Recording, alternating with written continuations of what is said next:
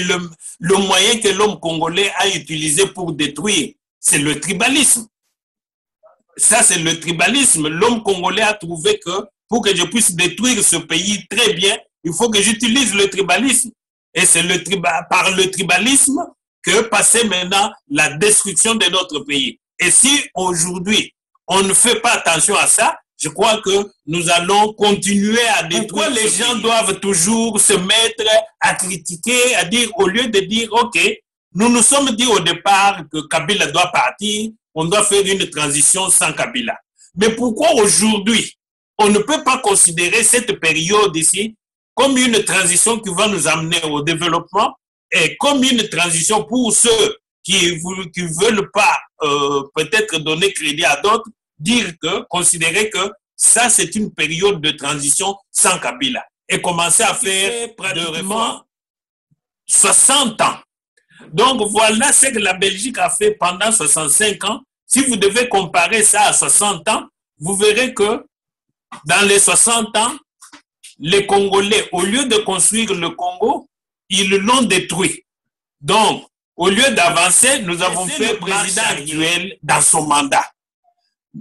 Nous devons aller et lui faire comprendre que vous étiez avec nous dans le combat. Nous nous sommes tous battus pour qu'il y ait des réformes.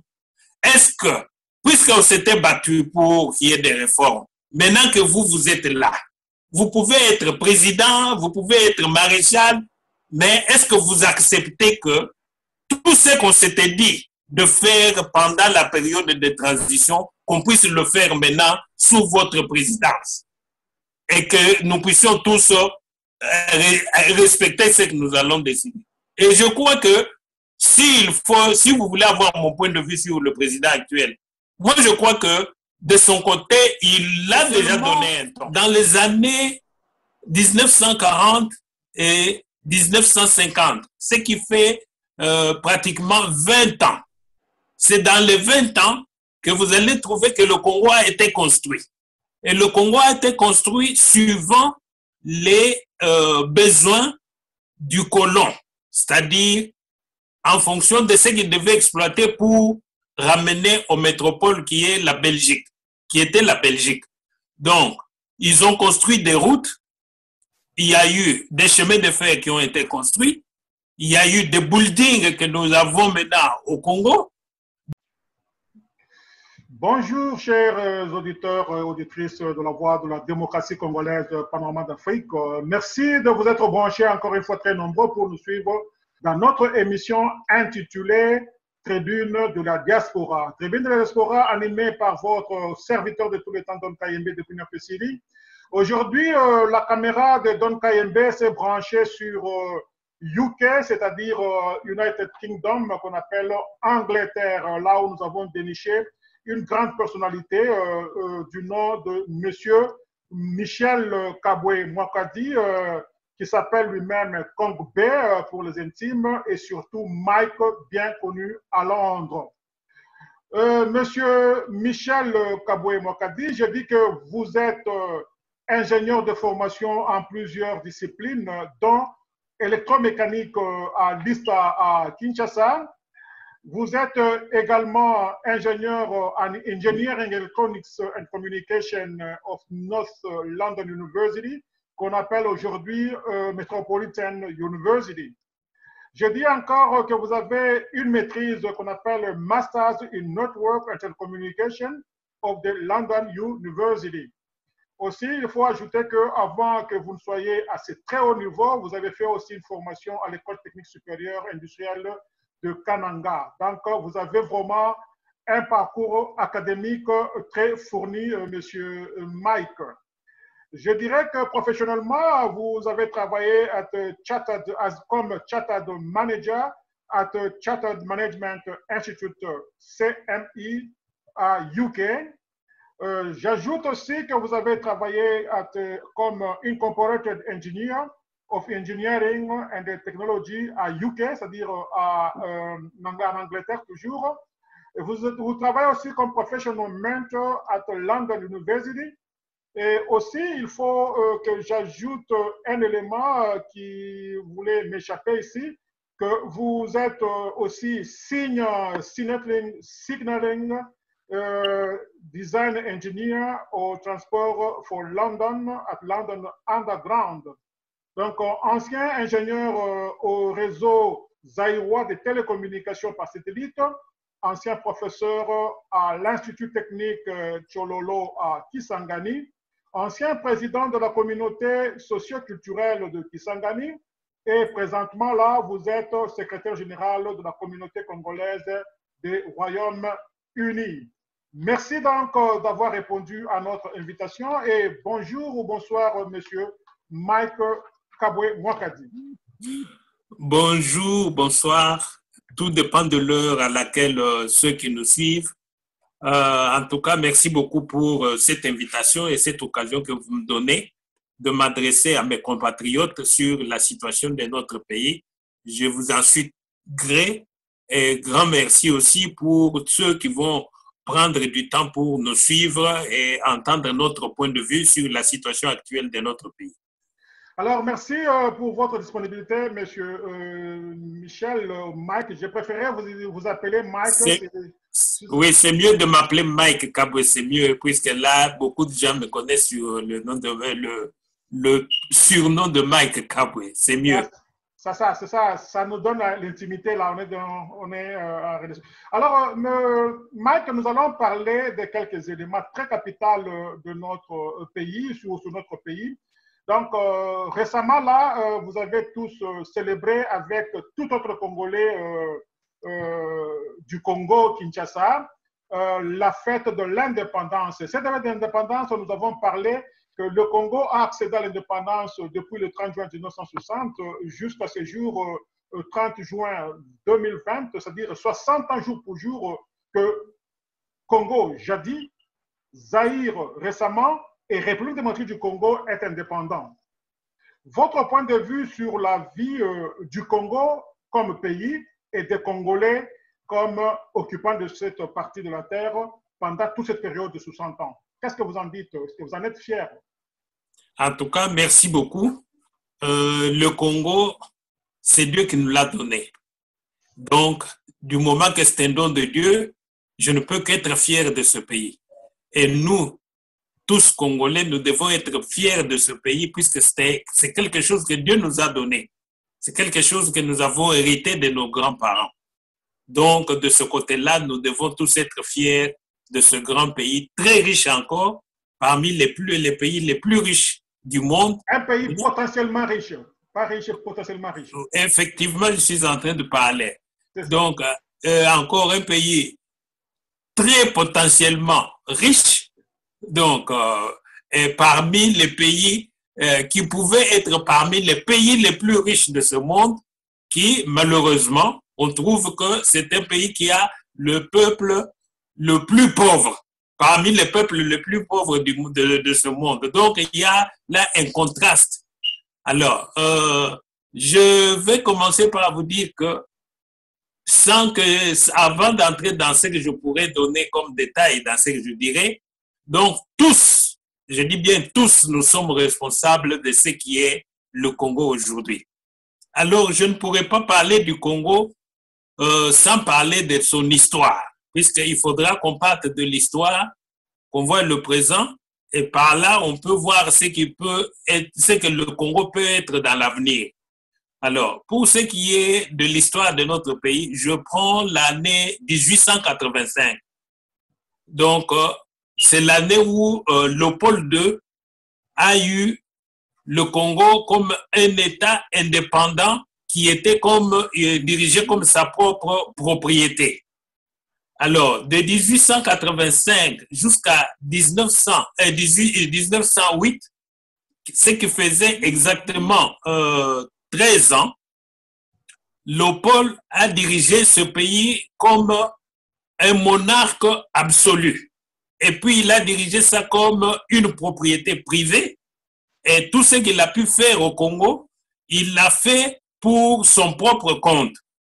Et pendant ce temps, il y a eu ce qu'on a appelé, euh, il y a eu des atrocités. Je ne veux pas entrer dedans, c'est juste pour euh, rappeler euh, nos amis, des atrocités très grave que, où les, les, les, les, les, effets, nous sommes en train de les vivre jusqu'aujourd'hui. Donc, de cette période de 1805 et 1885 jusqu'à 1908, ce qui faisait pratiquement 13 ans. Mais suite aux pressions des ONG internationales qui ont trouvé que la façon dont euh, Léopold II était en train de diriger le Congo, c'était une façon inhumaine. Il y a eu des pressions qui, on peut citer euh, Monsieur Morel, euh, un activiste euh, bon, britannique, qui a fait, donc du moins c'est lui qui sait, qui a pris le leadership de cette pression. Donc, ça a mené à ce que le roi Léopold II puisse céder le Congo à la Belgique. Donc, en 1908, la Belgique a eu le Congo comme un État indépendant qui est qui appartient le Congo belge, donc de l'État indépendant qui était la propriété privée de Léopold II, on est passé maintenant au Congo belge. Donc, il y a eu une cession.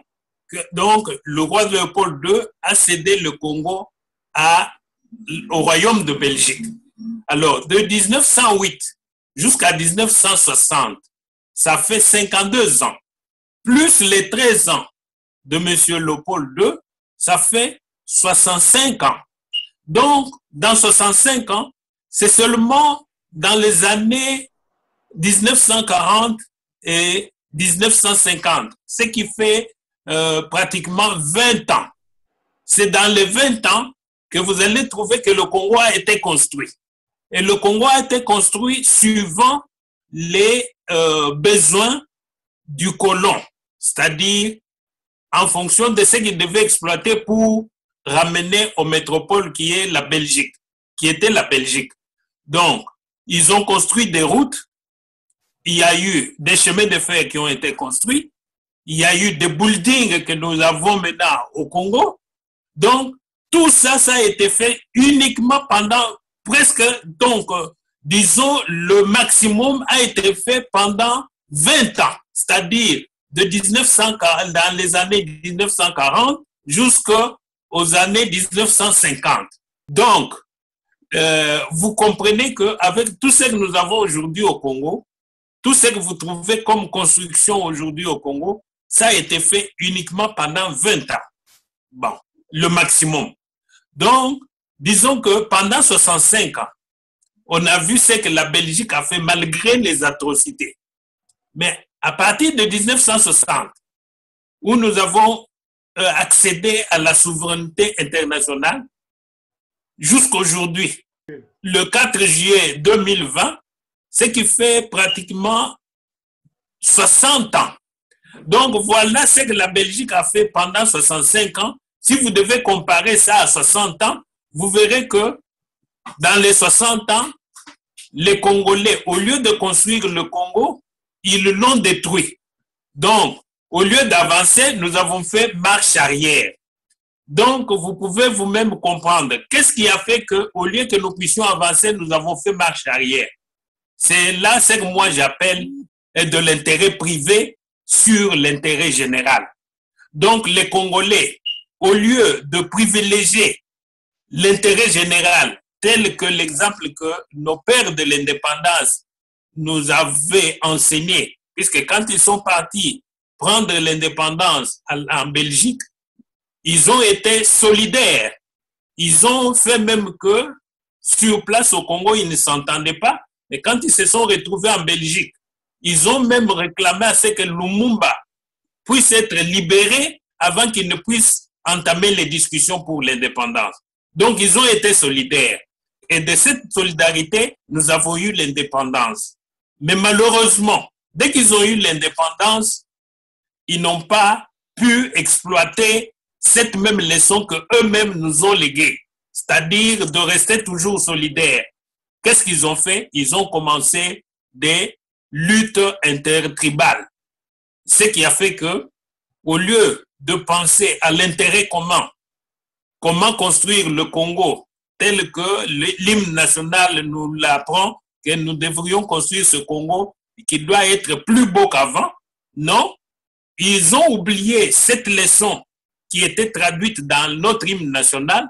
Ils ont oublié ça. Ils se sont tous recourbés sur, à l'exception de quelques euh, personnes, mais la majorité, tous, ils ont cultivé le tribalisme et le régionalisme. Et le résultat, c'est ce que nous avons aujourd'hui. Donc, je crois que euh, personnellement, euh, nous devons, si nous voulons que le Congo change, nous devons privilégier l'intérêt général. Et pour cela, Mike, nous allons arriver là-bas. Donc, il y a quelque chose que vous, avez, vous venez juste euh, d'énumérer sur nos pères de l'indépendance, ceux-là qui sont battus pour l'indépendance. Donc, vous parlez des conflits qui a miné cette période. Est-ce que vous ne voyez pas que ce conflit a été manufacturé, doctorisé par les Belges eux-mêmes qui ne voulaient pas partir? Alors, ils ont utilisé quelques membres de la communauté congolaise pour les opposer les uns contre les autres afin qu'ils puissent gagner leur euh, euh, euh, forfait. Quoi. Donc, donc, si vous vous rappelez tout de suite, avant que je démarre mon, mon exposé, je crois que j'ai dit que nous sommes tous responsables.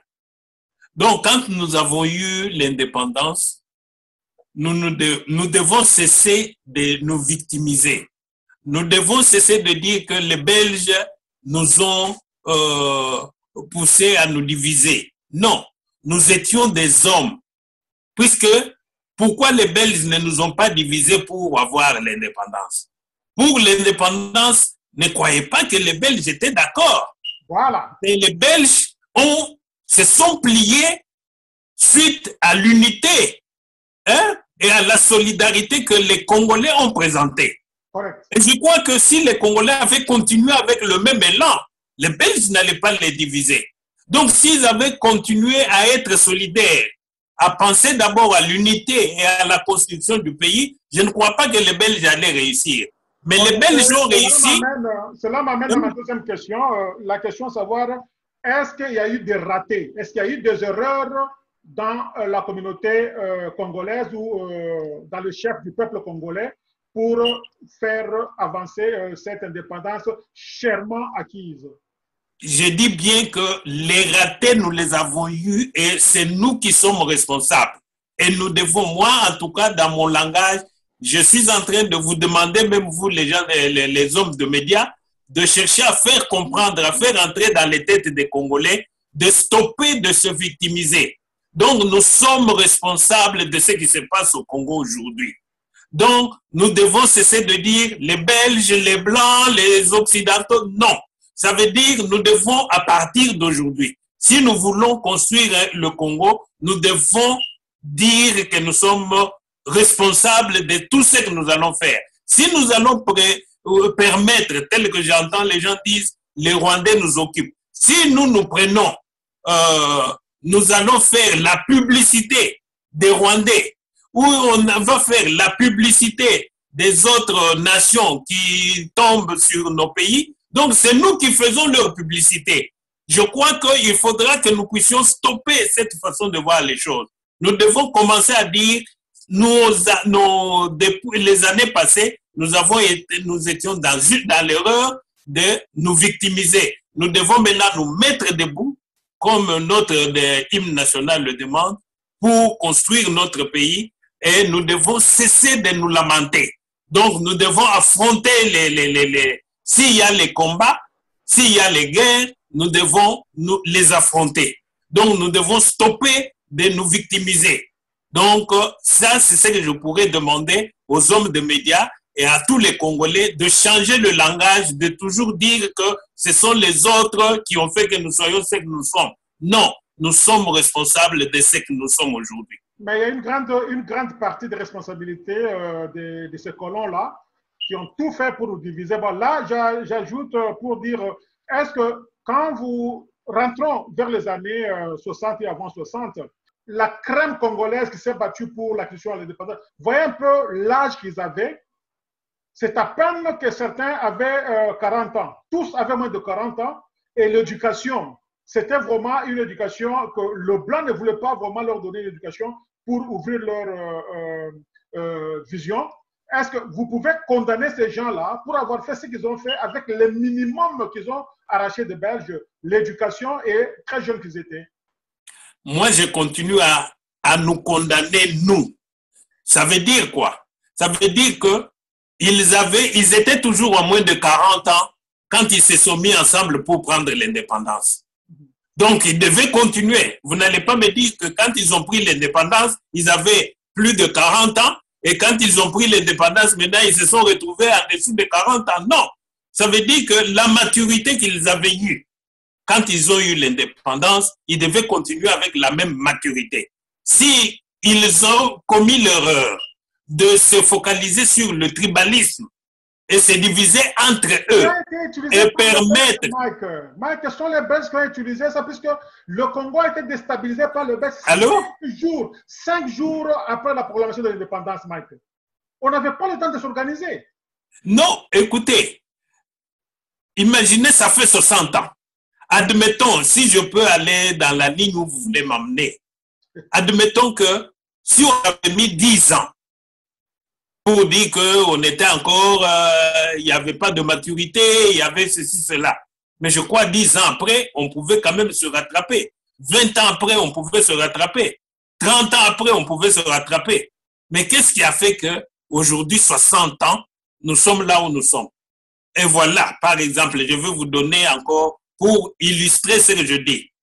Vous savez que avant que Kabyle ne cède même pas ce qu'il a cédé, tous les leaders politiques étaient ensemble. Et ils avaient dit, tout le monde demandait même à ce qu'on puisse faire une transition sans Kabila. Et tous étaient ensemble. Pour que vous puissiez voir, chaque fois que l'intérêt privé vienne prendre le dessus sur l'intérêt général, vous allez trouver que nous avons toujours des dégâts. Et si aujourd'hui nous n'allons pas prendre euh, au sérieux ce qui nous arrive, si nous n'allons pas chercher à voir d'abord l'intérêt du Congo, on va tomber toujours dans les mêmes erreurs. Regardez, nous nous sommes dit, pour le moment, c'est transition sans Kabila. Ce qui voulait dire que, puisque nous étions tous ensemble, quel que soit celui parmi nous, nous qui, étions, qui avions fait bloc pour que Kabila ne soit plus là. Donc, on ne se battait pas pour que quelqu'un soit président, mais on se battait pour s'organiser de façon à ce que Kabila parte. Donc, ça veut dire que du moment que on a eu un président, quelles que soient les conditions, je ne veux pas entrer là-dedans, quelles que soient les conditions, un président qui vient du groupe de ceux qui s'étaient unis pour dire que Kabila doit partir, on doit faire une transition sans Kabila, et puis après nous verrons notre situation. Mais aujourd'hui, nous avons une transition sans Kabila, en d'autres termes. Ça veut dire, Kabila n'est plus président, tel que c'était avant, mais au lieu que, s'il vous plaît. ne mettez pas la charrue devant le beurre, nous avons arrivé à la politique, à la politique actuelle. Ici, on parlait exactement euh, de l'indépendance, les 60 ans, et la, le point que j'ai beaucoup aimé, c'est quand vous avez dit euh, le Congo belge a été construit pendant 20 ans. Et nous, nous avons vécu 60 ans, 60 ans de destruction méchante. Vous continuez à dire que c'est le tribalisme qui est à la base de ça, ou bien c'est vraiment l'homme congolais qu'une fois à son temps, Monseigneur Mossongo avait dit que tout est à refaire au Congo, même l'homme congolais est à refaire. Effectivement, je dis bien c'est l'homme congolais, mais le moyen que l'homme congolais a utilisé pour détruire c'est le tribalisme. Ça, c'est le tribalisme. L'homme congolais a trouvé que pour que je puisse détruire ce pays très bien, il faut que j'utilise le tribalisme.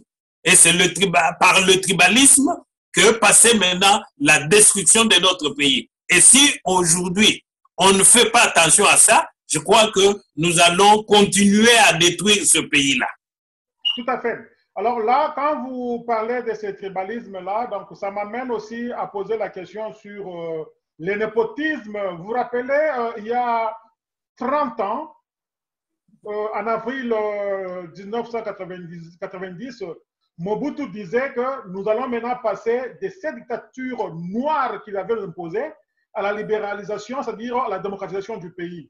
Est-ce que vous ne voyez pas que c'était aussi un coup manqué par le Congolais où il fallait aller avec les histoires en douceur et à la rigueur les faire partie puisqu'il était déjà faible.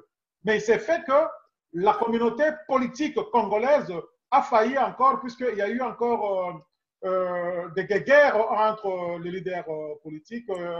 À la place de trois partis politiques ont été proposés, aujourd'hui nous avons 700 partis politiques au Congo. En tout cas, je crois que en- ce que vous venez de dire, vous me donnez encore raison. Ça veut dire que l'homme congolais a encore profité, puisque si vous verrez, vous regardez tous ces partis politiques-là qui ont été créés, la plupart c'est sur base des tribus, hein, à l'exception peut-être de deux ou trois partis politiques, mais la majorité, tous les autres sont basés sur le tribalisme. Donc, vous verrez un parti politique où il y a que le papa, le fils les oncles, les tantes. Donc, ça se limite là et quelqu'un va vous dire qu'il a un parti politique. Et quand, par exemple, ces partis politiques vont se rencontrer avec euh, les partis qui ont la tendance nationale, ils vont vous dire que tous nous sommes égaux. Il n'y a pas un parti qui est plus grand que, que d'autres. Donc, vous verrez que on va mettre un groupe de familles au même niveau que ceux qui se battent pour la nation. Et ceux qui se battent pour la nation se sont retrouvés en minorité. Et c'est ce qui fait que le pays a continué à être détruit jusqu'aujourd'hui. Voilà, alors là, ça nous amène euh, à l'actualité récente, c'est-à-dire la politique euh, récente. Vous avez un peu euh, épinglé un, un élément là-dessus, et je reviens maintenant avec force. Il y a eu alternance politique dans ce pays-là. Donc, Kabila devait partir, Kabila est parti, mais l'ombre de Kabila est toujours euh, vue par certaines personnes dans tout ce que le nouveau président est en train de faire. C'est Kabila qui fait, bon ou mauvais. Si c'est quelque chose de très mal, le président est incompétent.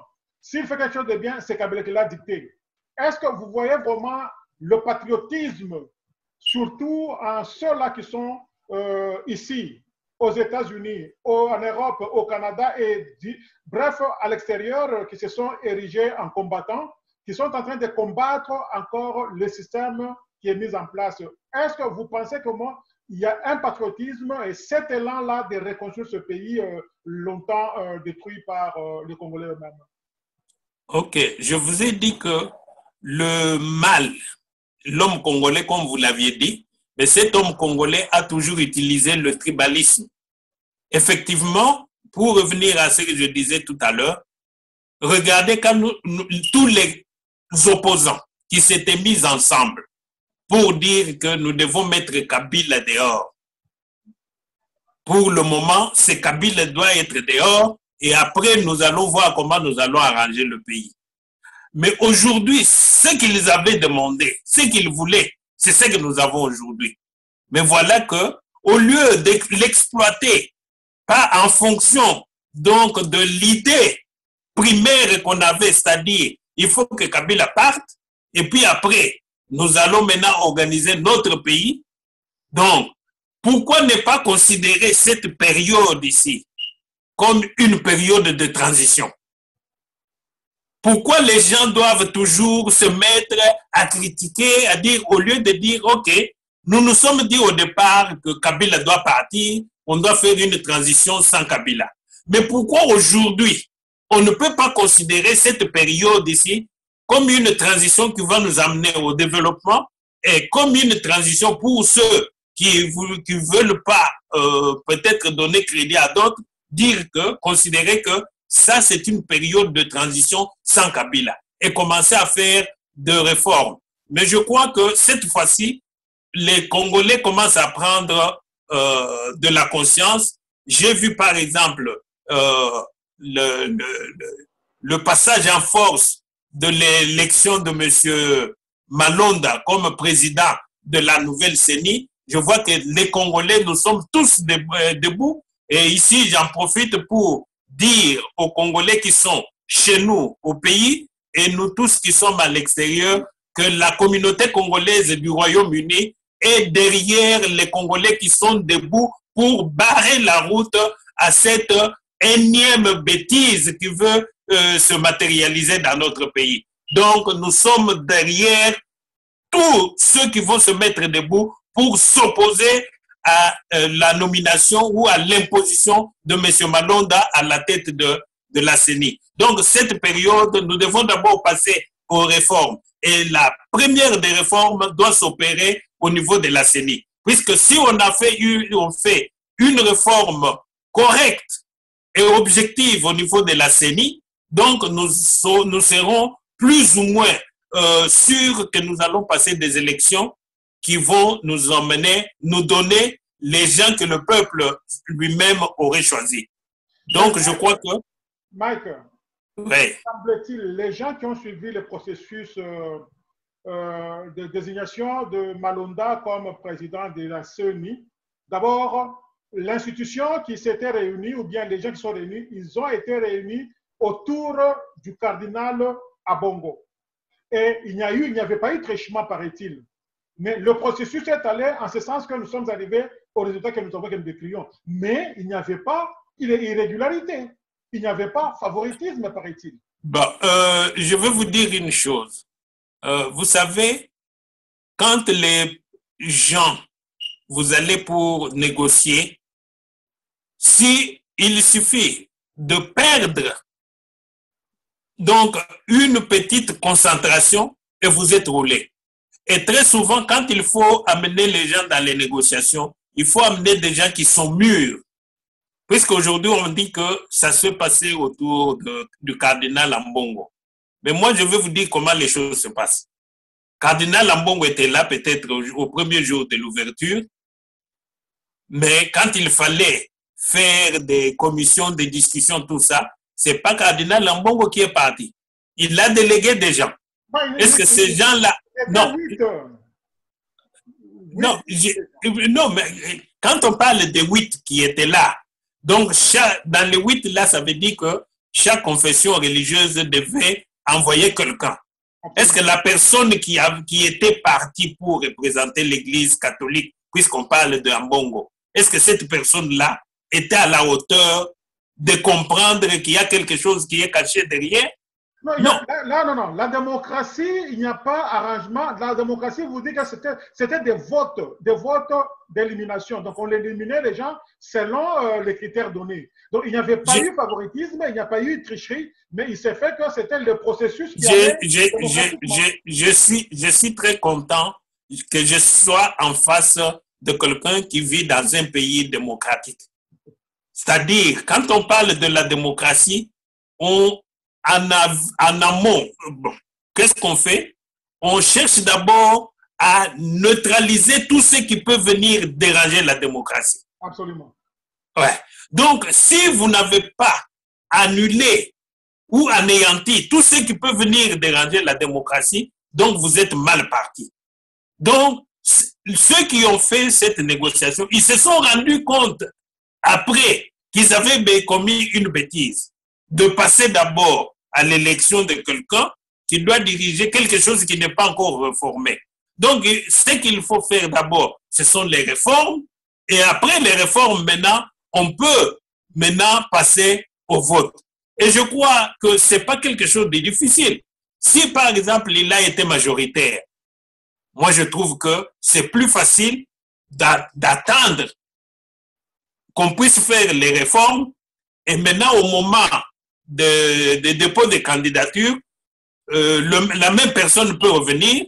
Comme elle est consciente qu'elle aura la majorité, je crois qu'elle elle pourra passer. Mais cette fois-là, les réformes sont déjà là et si elle va passer à ce moment-là, il n'y aura pas de problème. Mais s'il y a problème aujourd'hui, c'est puisqu'on a trouvé qu'il y avait anguille sous roche.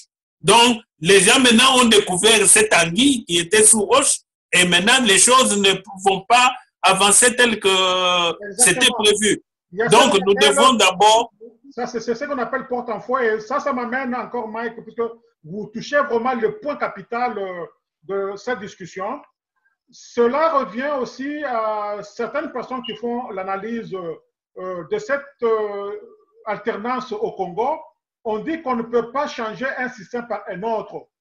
Il fallait commencer par créer ce que vous avez dit là, une transition d'abord, une transition des réformes pour baliser d'abord tout ce que Kabila a fait, tout ce que Mobutu a fait. Donc ça a un peu bougé le pays. Donc il fallait d'abord commencer par une transition qui devait faire des réformes de fond en comble avant de mettre des animateurs que tout le monde devait avoir confiance et aller de l'avant. Mais nous, nous sommes passés d'un système à l'autre, ce qui fait qu'en tout cas, euh, il y a euh, les histoires euh, qui continuent. Non, non, non, non, non. Là, vous n'avez pas raison ou vous n'avez pas, pas compris. Ou bien vous n'avez pas compris l'analyse que je fais. je laisse d'abord oublier le, le, problème de l'élection de la personne de, pour la CENI. Oui. Parlons maintenant, par exemple, pour l'alternance dont vous parlez. Oui. Il faut que nous puissions considérer aujourd'hui le président euh, actuel en tête, qu'il considère, qu'il puisse considérer euh, son mandat actuel comme une transition qui va nous amener au vrai développement. Donc, si le président actuel et les autres leaders considèrent ce mandat comme un mandat de transition où nous devons faire des réformes, je crois que nous allons réussir. Alors là, il faut, il faut un cadre d'entente où le président lui-même doit s'exprimer dans ce sens-là et ceux-là qui sont en train, ceux, qui sont dans l'opposition de les combattre, qui puissent tous se mettre d'accord que non, nous sommes dans une période de transition et cette transition-là, allez-y, allez-y je crois que euh, il ne faut pas euh, vous battre pour les mots. On peut laisser. oui, S'il vous plaît, oui. ce n'est pas puisqu'on va dire la transition que ça va changer quelque chose. Le problème, ce n'est pas dans, s'il vous plaît, c'est pas dans le mot. Si aujourd'hui le pays est là où il est, c'est puisque chaque fois on s'est battu sur les slogans, les slogans. Donc, il faut cesser à mettre de l'importance sur les slogans. Ça veut dire, pour le moment, il y a des gens qui se disent, pour qu'ils viennent, il faut qu'on dise que c'est la transition. Non. Puisque nous sommes dans cette transition que nous avions demandé, transition sans Kabila.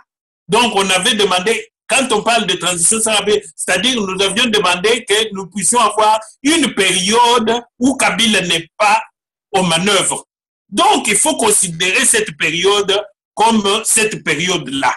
Donc, vous, vous pouvez l'appeler transition, l'autre peut l'appeler euh, mandat régalien, mais du moment que vous vous entendez que vous, vous pouvez rester avec votre mandat régalien, s'il vous plaît. Non, non, je vous dis très bien. Vous s'entendre avec qui? Puisqu'il faudrait qu'on qu mette les règles de jeu, que tout le monde accepte que non, nous sommes dans la transition et qu'après, par exemple, trois ans, il y aura élection et comme ça. Vous dites, si, si moi, je pense non. que c'est un moment, un, moment, un moment.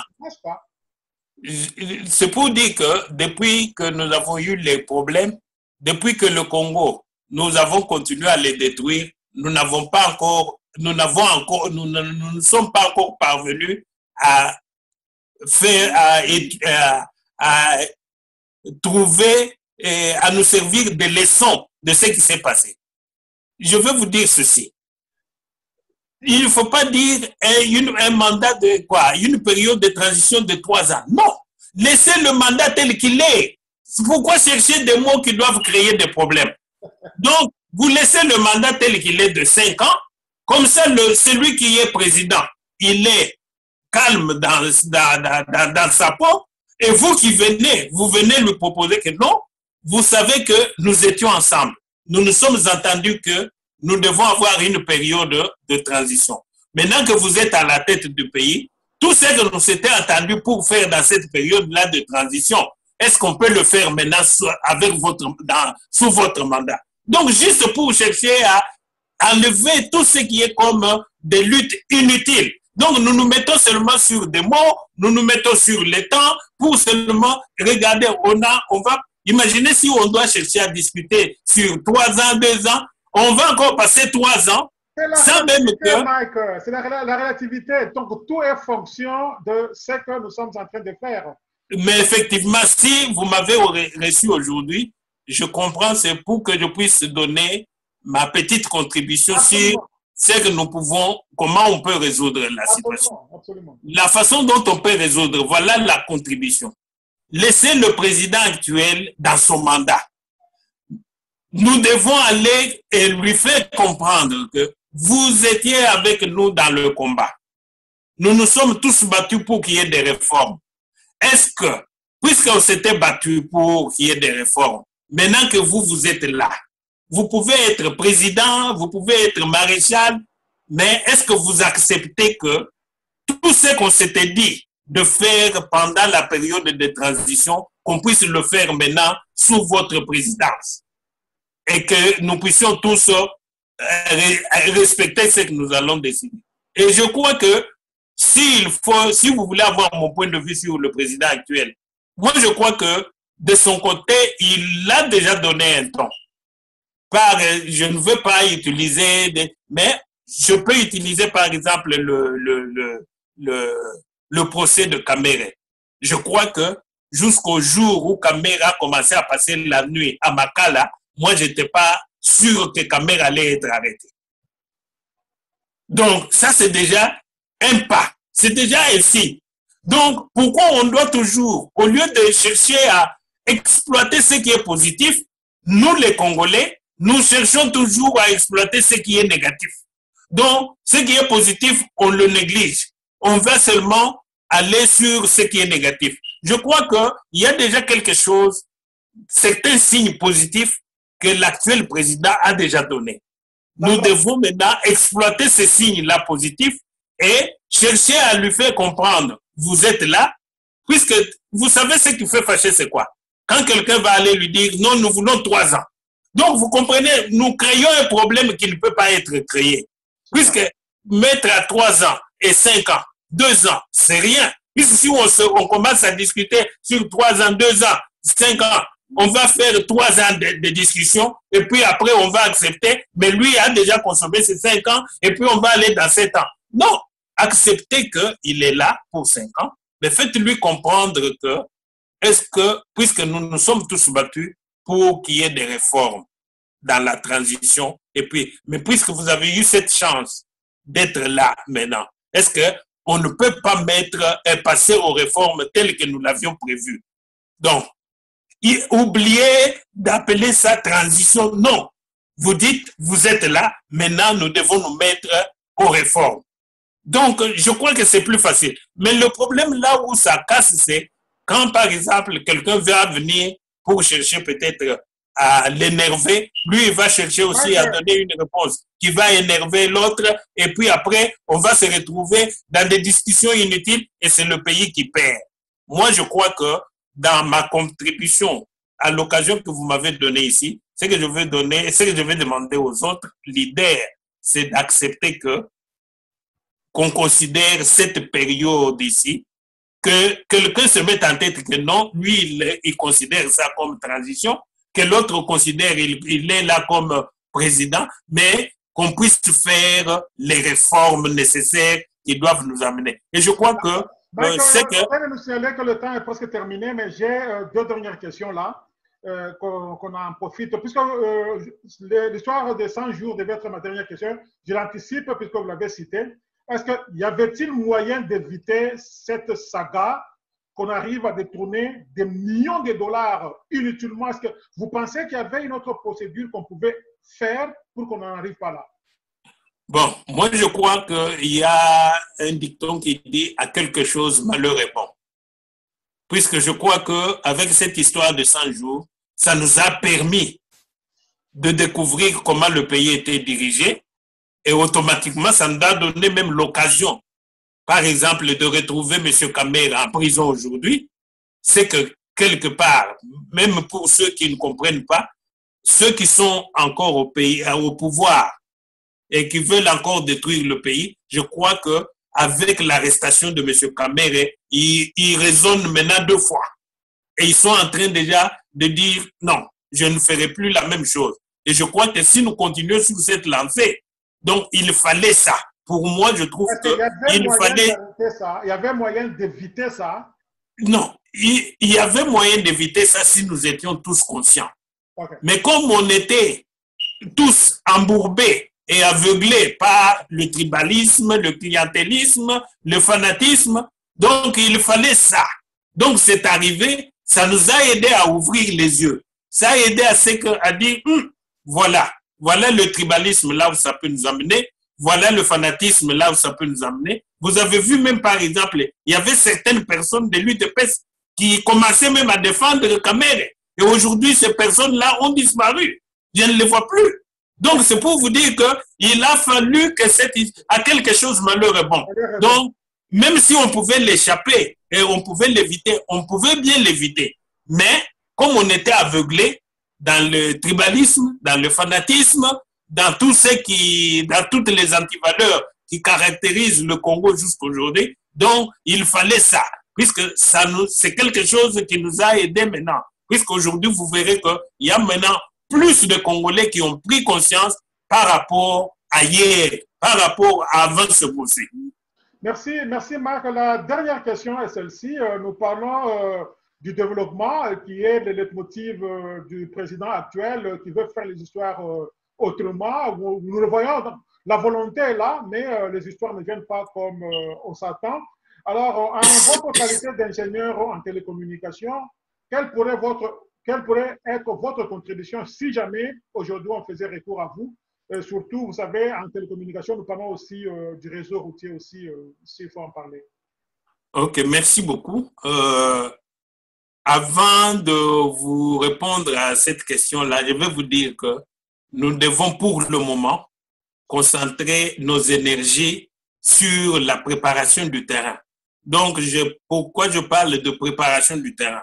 C'est-à-dire, si vous voulez construire une maison, je crois que la première des choses que vous ferez, c'est d'abord de travailler le terrain sur lequel vous allez construire votre maison. Pour le moment, nous devons d'abord préparer le terrain. Et pour préparer le terrain, moi, je crois que euh, le conseil que je peux donner au président euh, euh, Fachi est de concentrer son œuvre pour le moment sur la justice. Comme la Bible le dit, la justice élève une nation. Donc, tout ce qui doit se faire maintenant, on doit d'abord commencer par la justice, telle qu'il le fait maintenant. Donc, on doit renforcer d'abord la justice et les agents qui vont exercer cette justice au nom du peuple congolais. Je crois que si on fait ça, tous les autres projets vont couler. Donc, oh, ça sera plus facile. Mais tant qu'il n'y aura pas des conditions nécessaires, regardez par exemple Jérôme. Regardez Jérôme, les conditions qu'il avait en Europe. Il, a accepté d'aller travailler pour son pays. Mais regardez, il s'est retrouvé dans des conditions qui ne lui permettent plus de faire sortir ce qu'il avait. Or, ça veut dire pour qu'il puisse donner la capacité totale de ce qu'il a, je crois qu'il doit trouver un terrain qui est correct, qui lui permette, il doit être dans des conditions qui lui permettent de faire le travail correctement. Mais regardez, il se retrouve maintenant dans des conditions qui ne lui permettent plus de faire le travail tel qu'il Il le faisait. deux minutes. Je peux répondre à la question maintenant. Il reste deux minutes. Qu'est-ce que Oui. vous pouvez aller faire au pays en tant qu'ingénieur en télécommunication si jamais on Non. recourait à vous? Une Moi, euh, c'est comme vous l'avez vu, j'ai eu la chance de travailler dans les télécoms. Ici, en Angleterre, j'ai eu la chance de travailler dans les rails. Ça veut dire que j'ai travaillé dans les deux secteurs qui sont moteurs du développement. Absolument. Donc, ça veut dire que euh, après la justice, il faudra que tous les efforts puissent être concentrés sur la construction des routes, des chemins de fer et des télécommunications. Puisqu'à partir de là, ça va aider à ce que tout le reste puisse euh, se développer. Mais il y a l'eau et l'électricité, puisque on ne peut pas faire les télécommunications s'il n'y a pas d'énergie. Donc, il faut d'abord commencer. Il faut mettre de l'importance. D'abord, dès qu'on aura terminé les chantiers justice, il faut passer à au chantier énergie et route et télécommunication. Donc, voilà. Si ces bases sont mises en place, l'énergie, l'électricité et l'eau, je crois que le reste va couler. Donc, il faudra que, avant moi, je ne peux pas dire qu'aujourd'hui, j'ai bien l'outillage de faire ce que je peux faire. Mais je vais me trouver dans des conditions qui ne me permettront pas de donner ce que je suis capable de faire. Ok, bien entendu. Alors, la dernière minute, que, une minute qui nous reste, un mot au président euh, Tshisekedi. En tout cas, moi, je demande au président de concentrer son énergie sur euh, la justice. Donc, le travail qu'il fait maintenant envers la justice, en tout cas, c'est un travail que nous devons tous applaudir. Et je lui demande que s'il voulait encore retarder ça, il faut qu'il mette toute son énergie sur la justice. Après la justice, il pourra maintenant voir. Puisque quand il travaille sur la justice, au même moment, on peut travailler sur l'énergie, c'est-à-dire il y a des barrages, le barrage d'Inga, il y a les barrages Chute Katende, il y a les barrages un peu partout au Congo, les Mobaï Bongo. Donc, tous ces barrages-là, on peut les valoriser pour mettre de l'énergie et cette énergie va nous permettre de construire les routes et les télécommunications et ça va permettre à ce que le pays puisse être construit. Grand merci, euh, Monsieur Mike. Euh, euh, nous sommes très heureux qu'on ait partagé et ça fait du bien et nous espérons que prochainement, enfin, vous avez encore beaucoup, trop de matière et vous êtes vraiment un cheffonneux en politique, analyse, analyse politique. Nous reviendrons encore chez vous pour puiser encore davantage certains éléments pour le développement de notre pays. Merci et à la prochaine, Mike. En tout cas, je suis toujours disposé. Euh, au plaisir. Merci donc vous tous qui nous avez suivis du début à la fin sur euh, la voie de la démocratie congolaise au Parlement d'Afrique. Merci d'être toujours fidèles dans notre émission Tribune de la Diaspora qui est animée par votre serviteur de tous les temps, de depuis notre City. Et cela se passe chaque samedi euh, pour vous donner le point de vue de la diaspora sur la situation qui se passe chez nous en République démocratique du Congo. Nous disons donc euh, merci à Pascal Ntamboué depuis la Grèce pour euh, son appui en informatique et en technique. Merci à José Kapajika pour les images que nous recevons pour son appui technique. Nous disons aussi merci à Raphaël Tchananga, notre chef d'antenne de la BDC Kinshasa et journaliste sur cette même chaîne. Merci à euh, Théodore euh, Bakatula, l'unique caméraman euh, expérimenté depuis Kinshasa. Et enfin, merci beaucoup à Maman Adrienne Mayumbu, notre présentatrice depuis Kinshasa. Merci donc à tous les téléspectateurs de la Voix de la démocratie congolaise, vous qui nous suivez chaque week-end. Nous vous disons que nous allons nous retrouver encore le week-end prochain, le samedi, dans un autre nouveau numéro. Depuis New York, John Kayembe. À la prochaine.